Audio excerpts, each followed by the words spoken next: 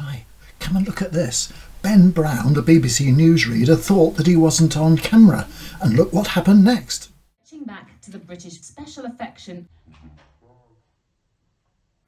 Oh, what out there? now it's uh, time for a look at the latest weather forecast today, and that comes from Matt Taylor.